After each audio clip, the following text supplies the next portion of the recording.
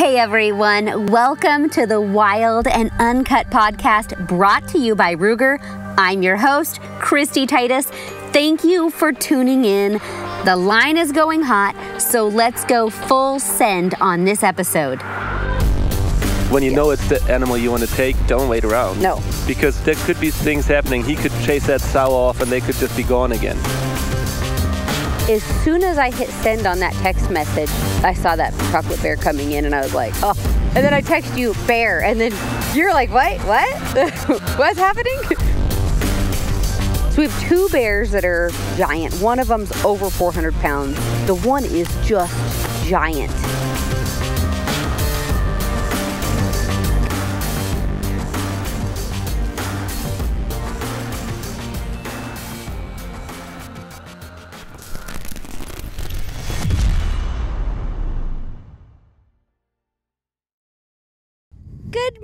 Morning, everybody. Welcome to Idaho and Bear Camp with Yogi and I. Yeah, it's been fun. We've spent 17 days hunting bears, Yeah, total.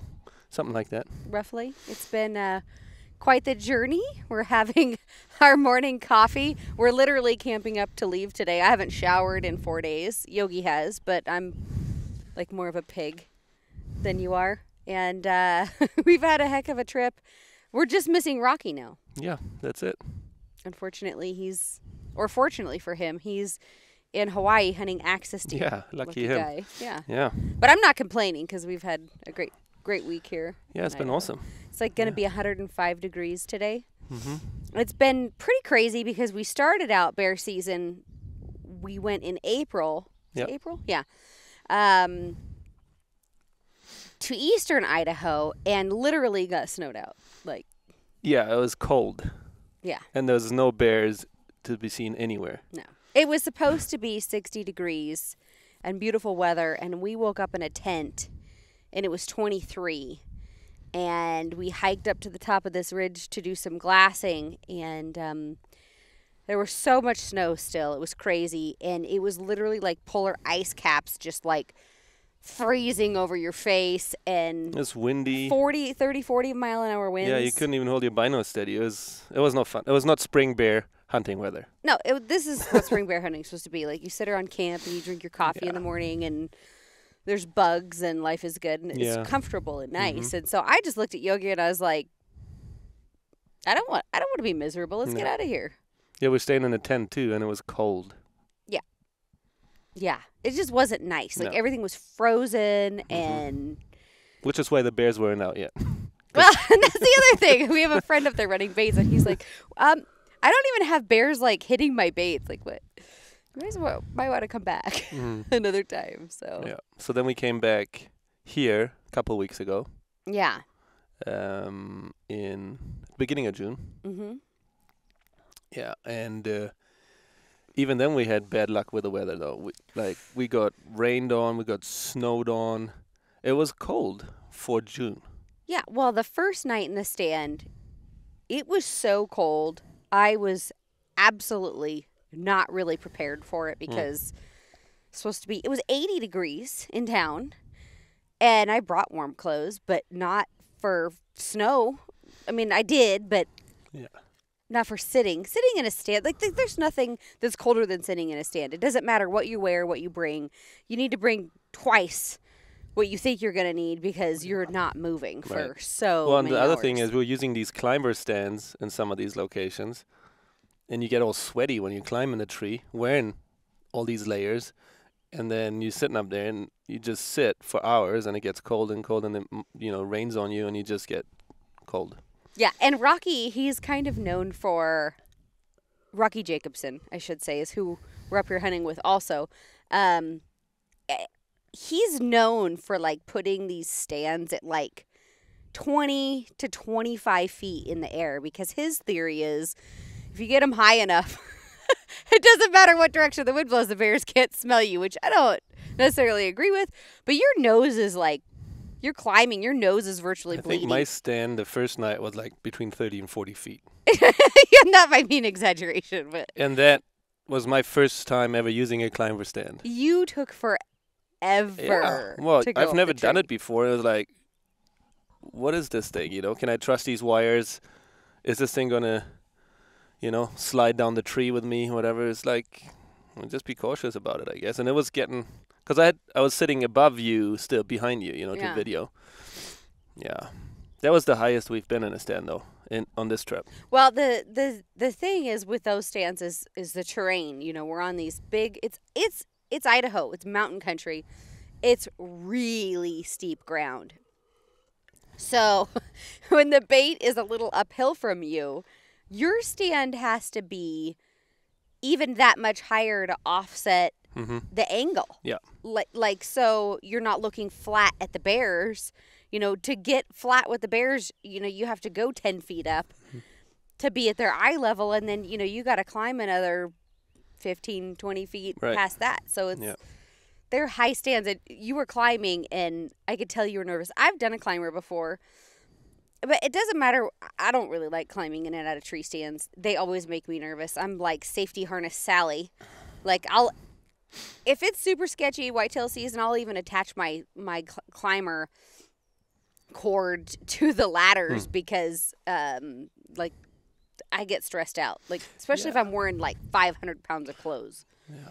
Well, this was the first time I I used one, you know. So, I'm I mean now, I'm not worried about it. No, I'm you know I'm jumping between stands and I which I will not do. and um, climbing the trees and those, and it's it's not a problem. You just have to get used to it. You know, that was the first time I used one, so I was like, oh, okay, well, Yeah, but you liked it so much you went and bought one. I'm going to take this to Sweden. Yeah, I'm going gonna- put this in my suitcase and take one home. yeah, I'm gonna take one to Europe because uh, you you don't have this stuff in Europe. People don't use this because most of the the hunting areas, and like especially in Sweden, is it's private private gra- uh, private ground or it's uh, government land, but uh, a privately owned hunting lease. so people put permanent stands up because they don't have to do this uh, public land hunting, you know. Mhm. So, but I want to take one. Well, I've bought one. I'm going to take it over so I can um, I can climb some of the trees up there in, in different spots where we don't have permanent stands. And then, especially for scouting, you know, I want to sit up there with a camera and a spotting scope and get some different angles on, on some of the roebucks and stuff in the fields, which is it's going to be sweet, I think. Yeah, I, the the climbers they do take a minute to get used to, but they offer you a lot of freedom Mm. where you can move around based on the change in the wind or, you know, if you know, like for whitetail. I, I don't there's not a lot of I don't know. I haven't been whitetail hunting where people use a lot of climbers, but man, they are so fast. So if you know you figure out well this whitetail buck is using this trail that's you know you've got to fit move 50 yards to get that shot those climbers are so fast um, Yeah. i think that we should try to look into maybe even bringing those this year for some of our whitetail hunts or um, sometimes the trees don't work for it some of them get pretty big but if it's in in a spot that we could use a climber it would be gosh it would be so much faster and easier for Yeah. us both to just say hey you know we need to move over 50 yards. And that's what i did last year you know i had to move uh, my stands heck we you know we were in one little drainage we moved three times trying to get in the right spot where we had the wind and the proximity to where you know this buck was cruising Yeah. and and then i you know i missed it because that happens. Um, but um, but you know a lot of people want to sit in a stand and be like no this is my stand Mm-hmm. this is where i have to be and that's just not reality Well, You- sometimes you have to move around Bow hunting, it's obviously because you don't want to be so close, you know, and you can Yeah. move around with those stands a lot easier. You'd be more flexible. It depends on the trees, though. You know, these trees up here, they have a lot of limbs, so you have to find the right ones to climb because otherwise you do be doing a lot of limbing on the way up. okay take your little saw Um, but I mean, like for me, when I take this one to Sweden now, there's we have a lot of um, birch trees. They don't have any limbs until you get way up high, so it's gonna be easy to find spots where I can climb. And uh, yeah, it's gonna be interesting to see if I can actually put it to use over there. this is your first year bow hunting Yes, the wife introduced the husband to bow Yes, hunting she did. Yay. it's been fun, and I you I had your it. butt kicked though yeah yeah I haven't had uh, uh, lady luck on my side on these bow hunts, uh, but that's how it is, you know, hunting. And I mean, especially on this trip, I've passed on a few bears that I didn't want to shoot because to me they didn't look mature enough. So, but I mean it's you know it's been interesting to to get into bow hunting, um, to be doing all the practicing with the bow, and I enjoy shooting the bow at the targets. And yesterday we we shot Out to 70 yards. yeah, I was good all the way to 60 with my bow, you know, and then at 70 it started spreading out a little bit, and I was shooting low, and I didn't want to, you know, because when I move one of my side pins, I will have to move all of them and reconfirm all the ones, Mhm. and I didn't want to do that right, right now. So I, I'm not going to shoot an animal that far anyway if I don't have to. So um, uh, yeah, I feel pretty good shooting out to 60 yards, and that's that's pretty exciting. You know, that's it's only been like a couple months since I started Yeah, literally. practicing with the bow. So yeah, no, it's it's been fun, and just not you know I, I just haven't had the luck with me to be able to uh, to actually shoot an animal with a bow. But uh, fingers crossed it'll happen here next couple weeks. So we're in Idaho hunting. It's public land. There is people running baits here. There's hound hunters here. Um, but it's pretty crazy where we're hunting right now. We haven't seen any other hunters. Well, we saw one houndsman cruise through Yeah. with a rig dog one day. Mm-hmm. Um, but apart from that, we've not seen other hunters. No other bear baiters. No. Um, we've literally had this place kind of to ourselves, so it's been super awesome. But regardless of that, the bears are really flippin' smart. like super keen. Like those big bears. We you spotted that one big bear. So we have two bears that are giant. One of them's over 400 pounds. One of them's in that 350 to 400 pound range. It's not as big as the other one. The one is just giant. Mhm. Um, that one has never been to the bait during the day. And the other one that's in that 350 to 400 type range, that one's been to the bait during the day and you saw it. hmm I came in one day. I was sitting above you in the in the stand behind you, and um, I could see out through the like the the trees out to our left. And I was just I was looking. I was like, "Is this a?" Because it was in an old burn. I was like, "Is that an, like a burnt stump that I haven't picked up on yet, or what is it?" And then I saw it moving. I was like, "Okay, yeah, there's a burn." I told you, but you couldn't see it. Mm-mm, I couldn't see it. And I video- I got right some- next to me. Yeah, I got some video of it right through the trees there. That thing is there was a big there was a big bear, big head on it, you know, wide skull and um just massive body, little white patch on it. Came in downwind, of course, and Yeah. it's like, He was sitting there sniffing and then he just turned and walked off. Yes. He was like, Yeah. There's something not right about this so and he just left. and that's why these big ones are so Yeah. hard to get. And a lot of people, they're like, "Oh, you're you're baiting bears. That's cheating. It's so easy." And uh, Yeah. baiting bears is from a conservation standpoint, predator management standpoint. Mm-hmm. Um, sure, you could. You know, there's lots of bears we could have notched our tags on. Um, there's bugs everywhere. Hmm. Yeah, they're, they're coming. The last couple of days when it's so warm the bugs have been out. And it's 7:30 in the morning right now, and the bugs are already bad. You wait by this afternoon; it's gonna be crazy. But, um, but the great thing about hunting bait is you have the opportunity to really get a good look at these bears. Every bear we've seen has been a legal bear.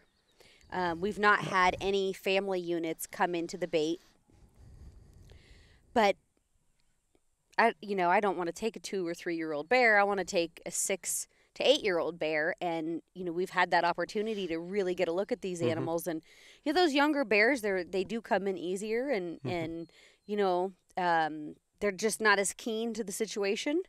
And it is really tough to get the bigger ones. Yeah. Plus they move a lot, you know. I mean, this is like you said, this mountainous terrain and deep drainages, lots of timber. And I mean, it, you would have to spend 2 months straight up here every day with numerous baits, you know, and check everything, check your cameras every day to be able to pattern exactly what these bears do for movement, but I mean those big ones they've they've been on camera every now and then but it's not like we've been able to pattern them No. consistently you know because they they have a big area that they uh, a big range that they um Mhm. uh, that they frequent and uh, also with the with the breeding season, you know, falling into this time of year, they they do move around and they're not that easy to pattern. If they find a, a hot sow somewhere, they'll be over there for a couple of weeks. You know, it's not like they're gonna be at the bait just because there's fresh fresh bait there. No, they don't. So. They're not driven quite like that. And it's interesting, even the young ones, they'll come in, they'll spend 15, 20 minutes, 30 minutes, and they leave. Yeah. They don't just sit necessarily and eat Yeah. and eat and eat and eat and eat. They kind of move along, and then a different bear will come in. Or, um, but I got very lucky. You know, this on our third trip, first night out. Um, we've been splitting up, so I was self filming, you were self filming, and um, we rebaited the bait together. And then uh, I pulled the camera card, and I climbed the stand, and you you left and went to your bait, and I was looking through the trail camera pictures, and um, the bear I end up shooting uh, was a nice chocolate boar, and he was coming in with a black sow, and had been coming in during the day, but also that that like 350 pounder that we'd seen with the white patch had been coming in had came in once at least during the day and so i was like man um, there's three good bears that had been in during the day while we were gone Mhm. And uh, a storm started rolling in and weather started to change and you literally text me you're like have you seen anything? I'm like nada. As soon as i hit send on that text message i i saw that that, that chocolate bear coming in and i was like oh and then i text you bear and then you're like what? What? What's happening? Yeah, because I think your message read something like, "I asked you, have you seen anything?" and you said, "Nope," and then that was like a message, and then the next message was, "Bear," and something, and I I wasn't sure if I should read it as, "No bear," or if I should say if it if it was meant to say "Nope" and then "Bear," you know. So I was like, "What's she saying?" And I was asking what's going on, and then the next one was, "Yeah, I shot one." I'm like, "Okay, it literally happened in three minutes yeah." So from the time I texted him, nope, I haven't seen a bear, to responding bear, uh, and and the nice thing about having the pictures of that bear, as soon as I saw, well, it's the only chocolate bear we've seen on that we've had pictures of. No, we've seen a sow with uh, with yearling cubs. She was brownish, not as brown as that one. though. Yeah, but that was on a different bait. Yeah. Um, but this is the only other, I should say, the only legal Mhm. uh, color phase bear that we've seen. And I knew he was, you know, good size bear. Uh, as soon as I c- saw the color, I was like, "Pfft, hmm game on, here we go. Yeah. Um, and it was actually pretty early when he came in. It was only 7:30. hmm Um, but that's the thing, like like we were talking about earlier. You're not able to pattern these bears consistently up here because they move around like that. But the that's obviously you know doesn't make it easier. mm-mm. But then on the other hand, because of their infrequent movement patterns and it could be any bear coming into the bait. You know, you don't know. There could be a totally different one coming in Yeah. that just cruised along this range and smelled something and come down to the bait that we've never seen before. Yeah. So that's the that's the beauty of it too. You know, you're sitting there every day, something could happen. Yeah. I always feel So- like if you have a bear like that one had been in during the day for the two or three days prior to us sitting, Mm-hmm. that bear had some confidence in that bait in the daylight. Mhm. It, it felt pretty confident. It was a boar, you know, not an old boar, but a mature boar. So I think he's kind of in his prime. Probably he'd been fighting. You could his face Oh, was he's scarred, scarred up. up, yeah. So he's probably a little cocky. Uh, and he came in with confidence. That bear Mhm. didn't even look around. He just once I heard him, like he beelined to the bait. The sow, now she was a little smarter.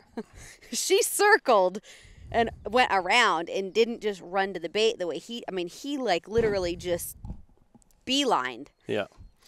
Well, you know, he's probably chased her off a few baits before too. You know, well, She might be a little sketchy. Yeah. So, Yeah. but yeah, no, that's you know, you you can tell the difference when there's a young one coming in or a mature one that's dominant. Yeah. You know, Well, those young ones are quiet. Like oh, they've been sneaking in. Quiet. Yeah. Yeah, they they tiptoe and they won't break a branch. And even the the the young ones we were watching this year, uh, the first part of the season, they were afraid to tip over the barrel, hmm like terrified of it. If the barrel moved or did anything, they'd run and practically tree. Yeah. Yeah. But now, it, you know, two three weeks later, They've been getting used to it more and more. they'll tip. They'll. It's crazy. They'll grab the inside of the barrel and they'll just like, Mm-hmm. like curl it over Yeah, like those little. wrestle. you can tell too by the way they flip it over how big they are, how strong they are. Because the little ones they have to put more effort into it. Obviously, Yeah. the big ones they just use one claw and it's down. yeah, it's they're and then it's really been fun to watch them roll the barrel a little bit to get the food to come out. Mm-hmm. I mean, they've learned the ones that are smarter have learned that. uh, Like the Yeah. one you passed on the other night, that thing just rolled the barrel, flipped it over, and then he just rolled it to get the food. yeah, and to then he was out. holding it with one paw, you know, up because it's kind of rolling downhill towards him again. He was holding it up so that it wouldn't roll over on top of the food that came out. He Yeah. was holding it up and then eating with the other paw. That was pretty cool to see. But you see the difference. Like there's two, those two little knuckleheads we call them. They came in together like a young boar and a young sow, like two year olds probably. Um, they came in together and. The sow, she wasn't as smart as the as the Well, she was more timid. She was more timid for herself, but she was also she was putting her head in the barrel, trying to get to the food. She stuck it in there like this, trying to get to the food. Whereas the boar, he would just reach in and pull out a piece uh, of bread and eat it. You know, so it's interesting to see the different um, behaviors. Yeah, it's it's been fun. Well, yeah, I didn't even let mine stick his nose in the No. barrel because I I mean literally the there was a storm coming in. The wind was starting to blow, so I'm in a tree and it's starting to sway. Mm-hmm. And I know it's going to start raining and I'm just assuming at this point that these things aren't going to stick around long once a storm hits. So that thing touched his nose to the bait. yeah, so, and that's you know we've been setting the barrels to where that opening in the barrel is um, on a- Twisted. twisted on an angle. Yeah. So if they, where the bears will come into the barrel and stick their nose into that opening, they're broadside from the from the tree stem, which is perfect. And he did that, and you just that's when you hit him. Yeah. that was perfect. Yeah, he was he was Yeah. quartered away a little bit, which was even better. Um, and uh, the you know the the the biggest thing I think if if you hesitate on that moment, um, trying to decide what you want to do or if you want to shoot it or if they sneak in on you and you're not ready. And they tip that bait over and they lay down. They can get into a weird position and stay Yeah. there, you know, for a long time, and you you don't get a shot. So, Mm-hmm. I, I mean, man, I, I was ready. I had my bow in my hand, and I did not wait as soon as that thing you know was at the right spot i just Mm-hmm. i mean literally i mean i don't have 30 seconds of video of the bear yeah, because i i just i mean you you sit for 15 or 18 days i'm not i'm not holding back i'm letting it fly well, but that that also also shows your experience. You know, tree stand hunting, bow hunting. That you know, you have to do that for that one moment that you have. You might as well use the first chance you get. You know, when you know it's the animal you want to take, don't wait around. no because there could be things happening. He could chase that sow off, and they could just be gone again. You or know? get a tickle in my wind and not like it and take off Yeah. or whatever That's the other thing in this terrain. The wind is really hard to pattern too, because it's so swirly. Or we've we've had these baits on like hillsides and on little knobs in the terrain, and the wind is swirling so much. It's hard to have a consistent wind. well we're trying to have them on ridge tops you know on the tops of ridges Yeah, so where you can have some drag, you know, below you eh, Yeah. or away from you, and not, you know, right to the bait. You know, we're not in any bottoms. We're yeah. you're have a lot predominant wind, obviously, but it's it's still hard, especially with it, this weather up here. You know, you've got the the temperature is Mhm. changing. Uh, uh, you know, it's really warm and then really cold uh, in the evening. It gets colder in the evening, so that makes the winds change too. You know, uh, and then the draws, the steep draws around those knobs in the terrain. So it's not easy to have a consistent wind, Mhm. which is why we've been using a lot of scent, Yeah, uh, a lot of scent products to, uh, you know, to to just um, what's it called to uh, cover. to cover Cover our scent up with, you know. So Yogi uh, is German and Swedish, so sometimes he, he gets a little lost in vocabulary. yeah, Yeah, yeah, I get lost in translation. that's what happens to our marriage. That's like, what happens. What did he just say? And then sometimes when I'm annoyed, I just start speaking in a different language. Well, it's when he wants to talk bad about me to his mom. He does it in Swedish, so I don't know. all the time. every day. but no, it's been a lot of fun. We're using um the Tink smoking sticks in the stands and on the ground. And it's interesting because the first time we used them, the bear, the younger bear came in and went straight to that smoking stick. It was it Mm-hmm. Yeah, was was pretty sniffing interesting it, to yeah. see. Um, but that it lets us know a lot, you know, cover scent number one, but then also lets us know what wind currents are doing. Yeah, that's why I like using those smoke sticks because you can see the smokes and it how it changes, you know, so many times during Mhm. the during the day when you sit there. hmm No, it's pretty handy to have those um, on the ground, but even in the tree with you, you know. We've So- had a lot of people, or Yogi's had a lot of people even uh, message him. You know, what's the key? You're hunting public land, being successful. What's what's the trick? And it's like, there's no trick. Well, it's like there's no trick. if you, it's like with any hunt. If you're doing, uh, like, it's, if it's a do-it-yourself hunt, and you're hunting public land, you have to put time in. Yeah. That's it. You have to commit to it. You have to, f- you know, you have to scout.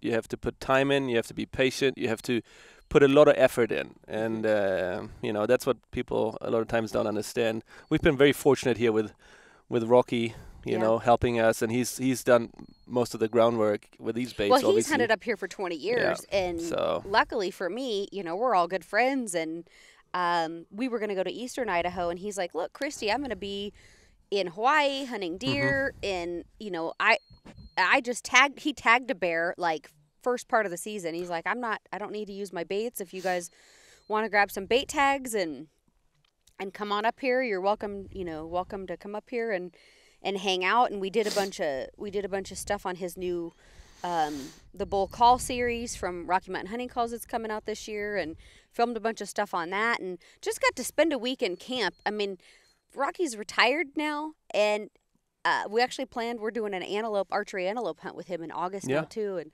and I mean he's been like he's been such a mentor to me.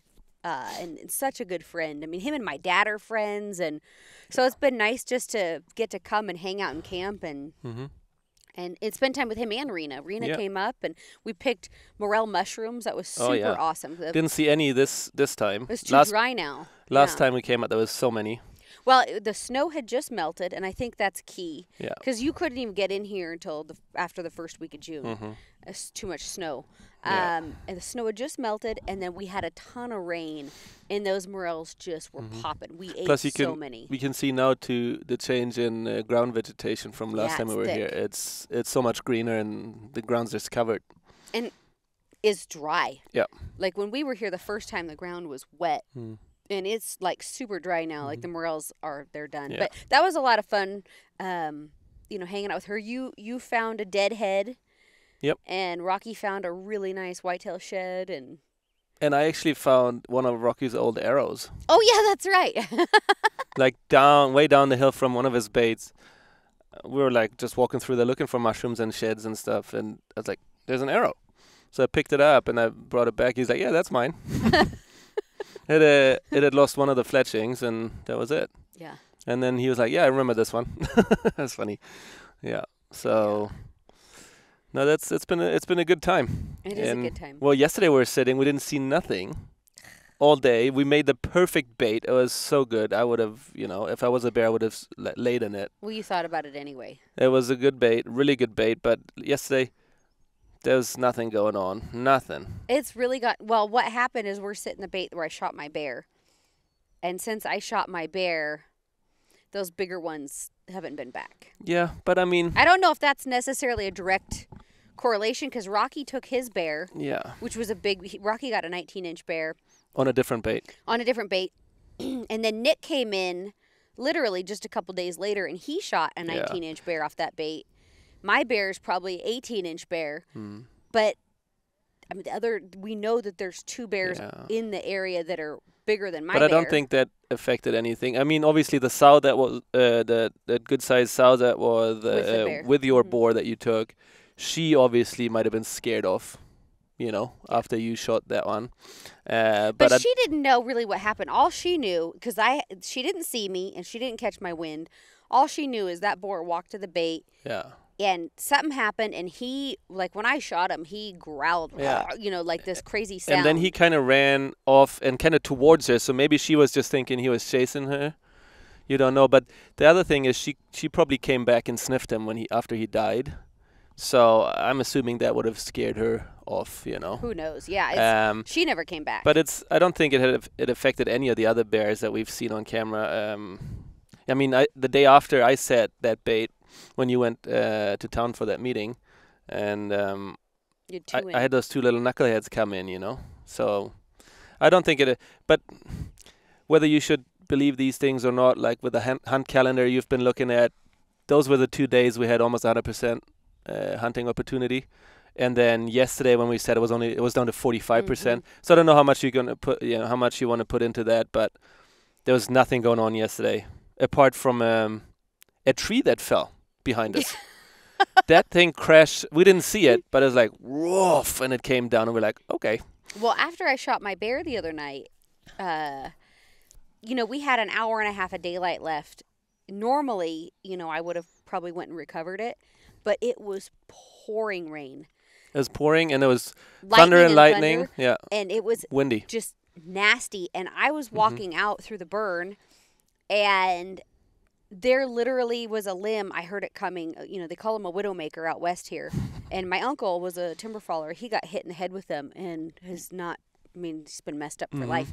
And I heard one of those things coming down out of the trees, and I ran and tried to hide next to something to like break it if it hit me because like those things are bad and i was like man i gotta get out of here like pronto i did not want to be Yeah. in anywhere in that vicinity you know you don't want to be around that one when, well, when and the other thing is over. the other thing is you're you're you know you're battling daylight daylight when you when you're going in after an animal that potentially could be wounded, and it's a it's obviously a predator, a big big animal that can hurt you if if it's wounded, and you you know you you don't watch it, so.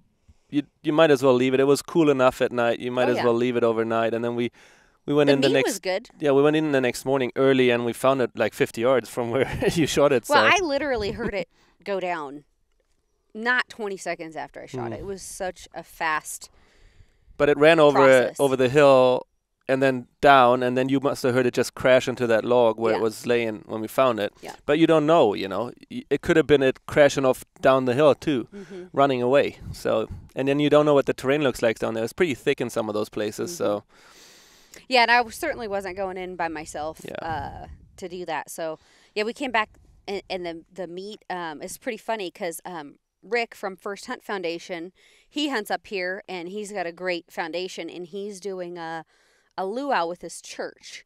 And so he's gonna serve some of the bear meat at the luau, uh, which will be super fun for people, I think. Yep.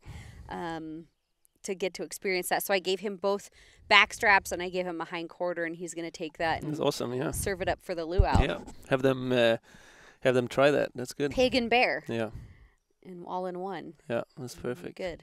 Yeah, no, so that's obviously pretty sweet that he uh, he uses the bear meat for stuff like that, um, Yeah. and that you can you can show people that even though you're predator hunting, uh, predator management, uh, some of the predator meat you can use for human consumption. You know, black bear meat's fine to Yeah. use, um, and uh, We're I taking the rest. Of, we're taking the other three quarters home, and Yeah. and uh, we'll make that into sausages or Yeah. whatever. But uh, it's beautiful meat. yeah, no, it's the good. hind quarters had literally like Oh yeah, three inches of fat. it was Yeah. crazy how much fat was on. and the that's now in June, and all they do is eat every day until they go and den up in October. Yeah. And I imagine how much fat they have then. Well, like a pig, if you're growing a pig for fair or whatever, they put on three or four pounds a, a day. Mm, I bet you bears they you must know, be or, s- doing or some some Yeah. type of you know, there's got to be some sort of like mathematical ratio of the pounds they put on a day. But I bet you it's one or two or three or up to four pounds a day, even depending. Mm-hmm. It depends on the area and you know how the how the weather is and the conditions. f- You know, obviously, and how much but food they have. they yeah. put a lot of uh, weight on every day, and we could like we were talking about that yesterday. Those little um, two, three year olds that we've seen on the baits here, the difference in in them f- now from like two weeks ago. Oh, the the they've and day difference. they've grown. hmm They've grown. You can tell, and um, yeah, they need to though. I mean, if you sleep for half the year, and that's what you live off, like your uh, energy and, and fat that you live off through the winter when you're sleeping, that's that's what you need. So- I'm uh, I, I'm prepared to den up all the time. Really, I Is just I I just like to just maintain it to where I could you know go into a deep sleep and You I'd also like fine. to sleep a lot. I do like to sleep a lot. I do. I can't help it. I get Well, tired. Your pre- your preferred uh, food source is obviously jalapenos. Jalapenos. Which should tell us a story about yesterday in the stand. Oh. well, my favorite thing, obviously, is Juanita's chips with uh, sour cream salsa and jalapenos. And uh, I decided it'd be a good idea to eat those at lunch yesterday. And that is not a daytime activity that you should ever do and then go sit in a tree. My stomach was on fire. I wanted to die last night, and it was not good. Just don't do it ever. Ever. That was funny. Oh, it wasn't funny. You were actually cramping at times, I think. I cannot believe we're talking about this. What? This is this is uh, raw and uncut. It's part Wild. of it. yeah, yeah, yeah, Yeah. No, it was. Mm, yeah, I. uh, mm, Not good. It was. Wild made and it through it. uncut with Kristy Titus. Oh boy. Yeah, I. uh We survived the whole ordeal. Yeah. Thankfully. No, it's been it's been a fun uh, experience. So like for me, like we said, it's the f- it's only my second bow hunt Yeah. that I've been on. The turkey hunt was the first one. Yep. Um, I didn't get lucky on that one. I didn't tag out on this bear hunt, uh, but it's been a new experience for me uh, in terms of um, sitting a bait uh, for a bear with a with a bow. You know, I've I've hunted bears a lot, mainly in uh, British Columbia and in Alaska, but those are all that those have all been spot, and stalk hunts um, with rifle. Yeah. And um, yeah, it's been a new experience and an, a very interesting experience. You know, I mean, I've I've baited other animals before. We we do that with the wild pigs in Sweden. We we hunt them over bait. Um, we've hunted wolves in Canada over bait. Um, so that's not new, but just the combination of hunting a bear with a bow and sitting over bait has been a new experience. That's been very interesting, you know, and it's been a good time.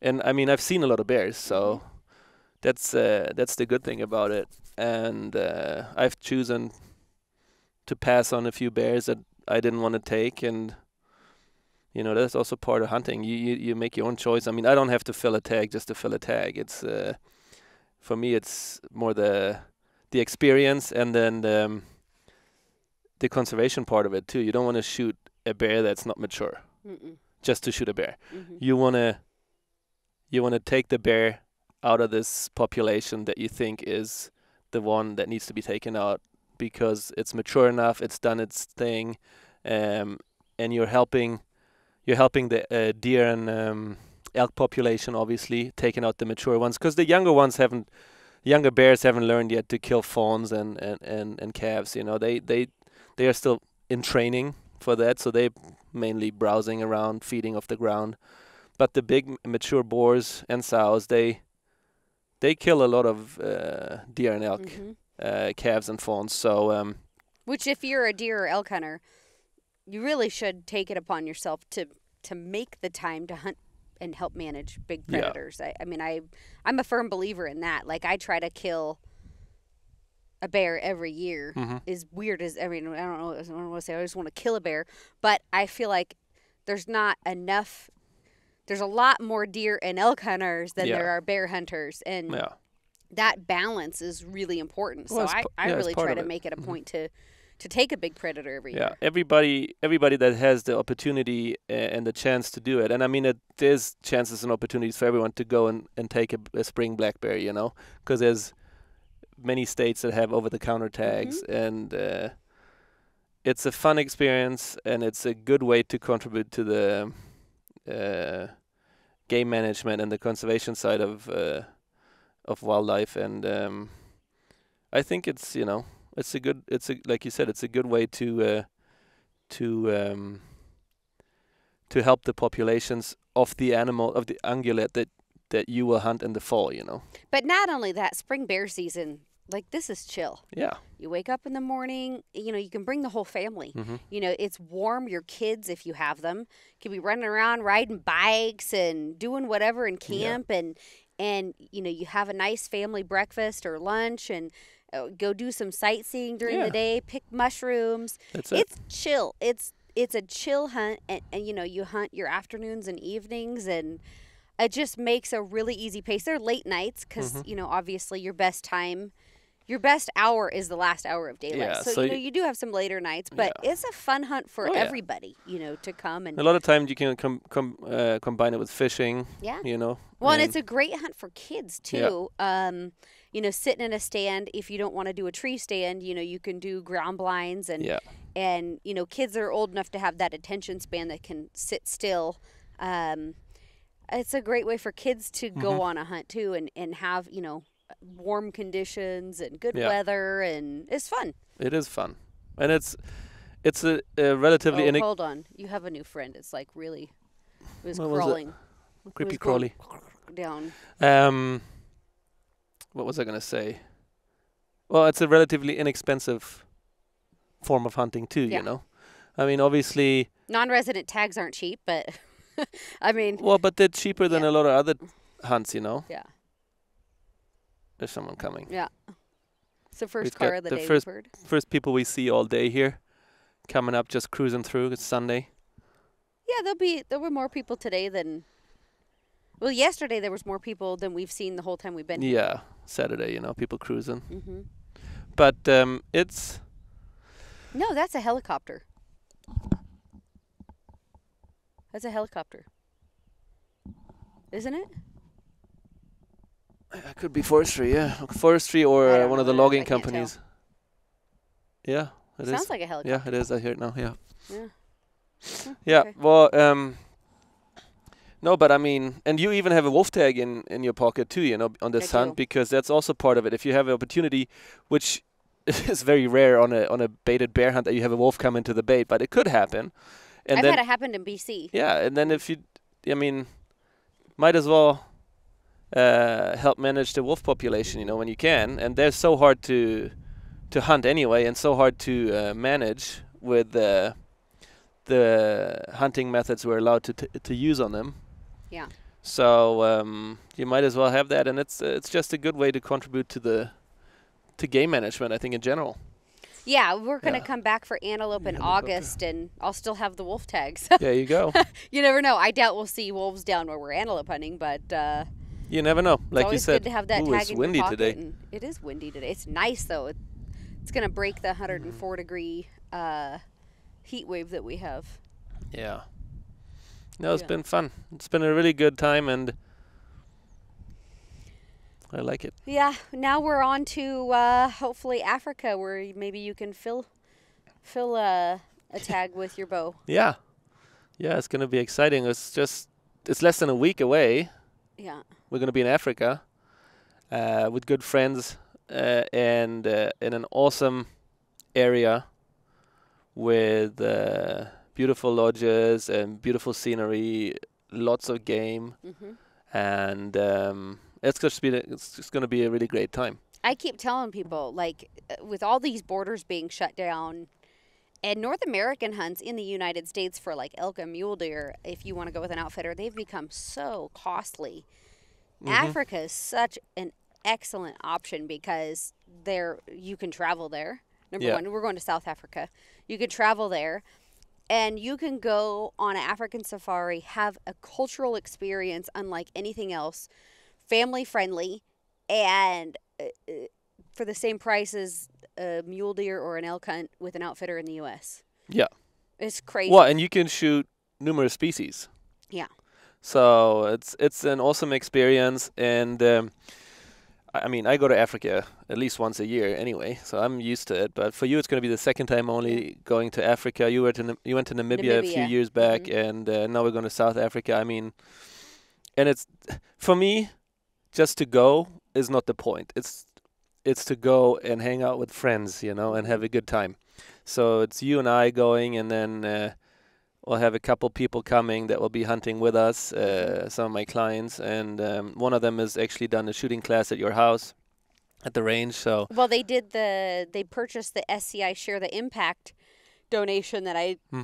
uh, donated for a fundraiser. Saf- Safari Club did a Share the Impact uh, in response to COVID. So they did a huge fundraiser where all the monies go to struggling guides and outfitters, uh, mostly outfitters, I guess, to Yeah. distribute that money to help them kind of stay afloat during this economic downturn thanks to COVID um, and the craziness that that caused. So I donated an experience, a long range shooting experience at my ranch, and the gentleman that's going to Africa with us purchased that uh, shooting experience, and you know he had such a good time. He he booked a trip to come to Africa with us, and and we're gonna have just so much fun. Yeah. Yeah, no, it's gonna be awesome. I'm looking forward to it. And then uh, you know, for for you, it's gonna be a totally new experience in a way. Yeah, yeah, know? I've done it once, and this will be my second time. But I'm gonna try to bow hunt spot and stalk. Um, you're gonna bow hunt uh, kudu. Yeah, I'm gonna right. try. I'm gonna try to get a kudu uh, with my bow, but I'm gonna do it from a blind setup, just because I don't feel confident enough yet that I will be able to spot and stalk and then actually pull off a shot with the bow. Well, and you know, who knows? I may end up doing the same thing. I'm I'm gonna try, being the operative word, uh, spot and stalk. So we'll Mm. just see how it goes. Yeah, no, it's gonna be fun. Yeah, we'll You'll like it there. I mean, I love that place. I've been, I've been there every year since 2006. So now you know that's 15 years in a row. Yeah. Yeah. So that's it's it's one of my favorite places in the Limpopo in South Africa and it's you know good friends of mine and that's the main thing we always have such a good time and Mhm. the food's amazing and it's just the atmosphere is just great and um yeah so it's it's going to be awesome and um from there we're going to Sweden Yeah. It's gonna yeah be a busy month. straight to Sweden and then uh we'll do some more roebuck uh, scouting hang out with my family Pig hunting. pig hunting go boating fishing Mm-hmm. It's gonna be eat some fun. good food. Again, a total, totally different culture and uh, you know uh, cuisine and all that stuff. So it's, yeah, we're trying to travel as much as we can internationally still, even though uh, a lot of the countries are restricted and stuff. But this, uh, it's going to be a really good month. Mm-hmm. It's going to be fun. We appreciate you guys joining us today from Idaho's backcountry, Yeah, public lands, enjoying our uh, our opportunity that we're given as Americans. We're very blessed and privileged to have the opportunity to hunt places like this Oh, and, yeah. and have people that you know from from near and far you know be able to come and experience this stuff with us and um, I hope you guys enjoyed this this hunt recap and kind of behind the scenes on hmm what went down and we'll look forward to seeing you all next time. sounds good. Ching ching. Ching ching. Thank you for listening to the Wild and Uncut podcast. If you would like to hear more, be sure to subscribe to my Pursue the Wild digital series on YouTube and follow me at Kristy Titus on Facebook and Instagram.